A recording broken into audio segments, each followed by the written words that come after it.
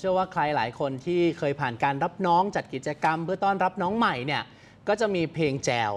แจวมาแจวจ้ำจึงน้ำนิ่งไหลลึกนึกถึงคนแจวเออแจวเรือจะไปเก็บหอยขอเชิญน้องจอยลุกขึ้นมาแจวอ้าวก็ต้องแจวนะใช่เหมือนค่ะกันเมื่อวานเนี้ยคุณพิธาเนี่ยไปงานที่ธรรมศาสตร์อืมแจวมาแจวจ้ำจึงน้ำนิ่งไหนลึกไหลลึกนึกถึงคนแจวอะแจวเรือจะไปสภา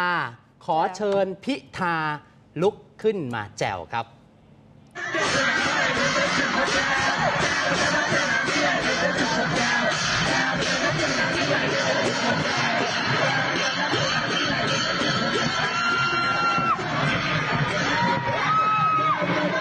อะนี่ก็เป็นบรรยากาศช่วงหนึ่งที่แบบ โอ้โห เด็กก็กรี๊ดกันค่ะเพราะในฐานะที่คุณพิธาเองเนี่ย เป็นสิทธิ์เก่าคณะบัญชี แต่ว่าเรียนภาคภาษาอังกฤษก็คือเรียน BBA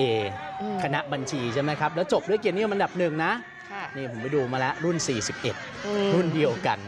อ่ารหัส 41 คุณผู้ชม เมื่อวานนี้ก็เลยได้มีโอกาสคุณพิธาเนี่ยมีโอกาสไปพูดถึงเรื่องของประชาธิปไตย ให้น้องๆที่ธรรมศาสตร์ได้ฟังกัน รุ่นนี้ก็ต้องเป็นรุ่นที่ 67 66 67 ห่างกับคุณพิธาเท่าไหร่อะ 25 ปี ค่ะ ไม่เยอะ นิดเดียวคุณผู้ชมเออเออทีนี้ตอนที่คุณพิธาไปบรรยายเนี่ยคุณผู้ชมปรากฏว่าหัวข้อที่ได้ขึ้นไปพูดเนี่ยเกี่ยวกับประชาธิปไตย เสรีภาพ และความยุติธรรม คุณพิธาเนี่ยพอเห็นหัวข้อนี้ถึงกับแซวอาจารย์เลยนะ บอกโอ้โหอาจารย์ใจคอเนี่ยจะให้แคนดิเดตนายกที่ชนะการเลือกตั้ง แต่รัฐสภาปัดตกเข้าทำเนียบก็ไม่ได้ มาพูดเรื่องนี้จริงๆเหรอ คือคุณพิธาบอกถ้าเป็นภาษาผมนะเขาจะเรียกว่าเออประเหมาะเคาะดีเนาะที่ได้แคนดิเดตนายกคนที่ 30เนี่ยมาพูดอยู่ตรงนี้ แต่ถ้าเกิดเป็นภาษาเพื่อนคุยกันเอง ก็คงจะใช้คำว่าแหมมันเป็นจังหวะนรกมาก ๆ เลยอะที่ดันมาได้ประเด็นนี้ต้องมาพูดให้กับน้องๆฟังครับ ใจคออาจารย์จะให้แคนดิเดตนายกรัฐมนตรี ที่ชนะเลือกตั้งเมื่อวันที่ 14พฤษภาคม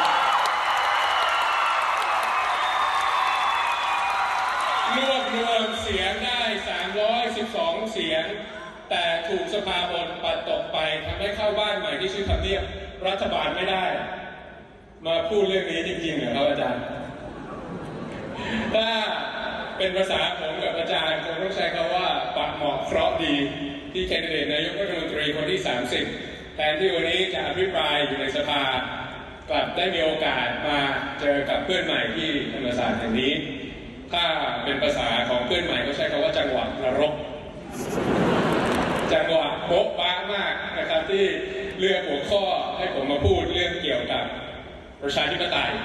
เรื่องเกี่ยวอะธรรมศาสตร์เรานี่เราจะไม่เรียกรับน้อง เราจะเรียกรับเพื่อนนะครับ รับเพื่อนใหม่คุณผู้ชมครับค่ะทีนี้หลังจากที่คุณพิธาพูดไปแล้วเนี่ยก็จะมีอยู่ 2 ช่วงแหละช่วงเช้ากับช่วงบ่ายนะครับก็คุณพิธาเนี่ยพูดถึงเรื่องของคำว่าประชาธิปไตยที่ตัวคุณพิธารู้จัก บอกว่าประชาธิปไตยที่ผมรู้จักระบบทุนนิยมที่ผมรู้จักเสรีภาพที่ผมรู้จักกำลังถูกทำลายลง จริง ๆ หลักการมันก็ง่าย ๆ เลยนะ ประชาธิปไตยเนี่ยวันแมนวันโหวตทุกคนมีหนึ่งเสียงมีสิทธิ์เท่าเทียมกัน แต่สิ่งที่เกิดขึ้นก็เห็นอยู่แล้วว่ามันเป็นยังไง เห็นว่ามีสวบางคนสัญญาเอาไว้นี่คุณพิธาพูดบนเวทีนะ สวบางคนสัญญากับผมเอาไว้ว่าในวันที่โหวตเลือกนายกเดี๋ยวจะยกมือให้ ปรากฏในวันที่มีการประชุมรัฐสภาแล้วโหวตกันจริง สวบางคนอยู่ญี่ปุ่น สวบางคนไปยุโรปไปอะยกไรมืออย่างที่เงี้ยนู่นเหรอ เออเห็นไหมก็กลายเป็นว่าไม่ได้ที่พูดไว้อย่างหนึ่งอ่าถึงเวลาจริงมันทำอีกอย่างหนึ่งค่ะ แล้วสวที่มาจากการแต่งตั้ง 250 คน สามารถโหวตสวนได้ด้วย นี่ตามหน้าจอคุณผู้ชมนี่อ่านตามกันเลยนะ เขาสัญญาว่าเห็นด้วยกับเสียงข้างมากจะโหวตตาม แต่วันโหวตจริงกลับไปอยู่ประเทศญี่ปุ่นอยู่ยุโรป ไม่มาเป็นองค์ประชุม ซึ่งทุกๆ เสียงมันสำคัญหมดไงคุณผู้ชมครับ แล้วคุณพิธายังบอกว่า สว 250 คนที่มาจากการแต่งตั้ง สามารถโหวตสวนกับสสที่มาจากการเลือกตั้งได้ค่ะแล้วคุณพิธาก็ยังพูดถึงตาช่างและความยุติธรรม บอกว่าตอนเนี้ยอำนาจอธิปไตยเนี่ยที่บอกว่าเป็นของปวงชนชาวไทยแต่ ทุนนิยมสมัยใหม่ มันทำให้เกิดการกระจุกตัว ความเป็นธรรมมันหายไปหมดแล้วอืมมันไปกระจุกก็จริงแต่อยู่กับคนแค่ไม่กี่คนเท่านั้นเอง ซึ่งอันนี้ก็เป็นใจความสำคัญที่คุณพิธาพูดเอาไว้นะฮะ คุณผู้ชมครับค่ะสุดท้ายมีการฝากไปถึงเพื่อนใหม่เฟรชชี่ด้วยอวยพรให้เพื่อนใหม่เฟรชชี่ทุกคนประสบความสำเร็จกล้าคิดกล้าฝันกล้าคิดนอกกรอบ แล้วที่สำคัญทิ้งท้ายไว้ว่า ต้องอยู่ไม่เป็น นะหลายคนจะฮะฮะ พูดเต็มๆว่าต้องอยู่ไม่เป็น เพราะถ้าทุกคนอยู่เป็นโลกไม่มีวันเปลี่ยนค่ะ เรียนนอกห้องให้เหมือนกับที่เรียนอยู่ในห้องฟังแต่ยังไม่เชื่อ อย่าให้ใครมาบอก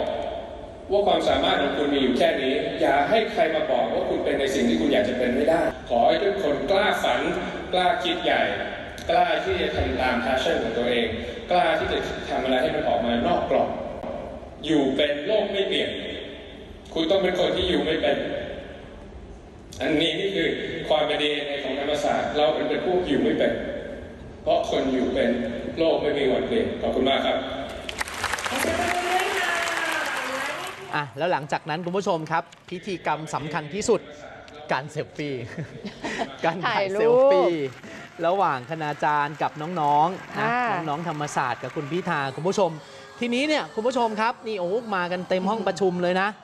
ดูละคร ซีรีส์ซิทคอม วาไรตี้ คอนเสิร์ต และทีวีออนไลน์ได้ทางแอปวันดี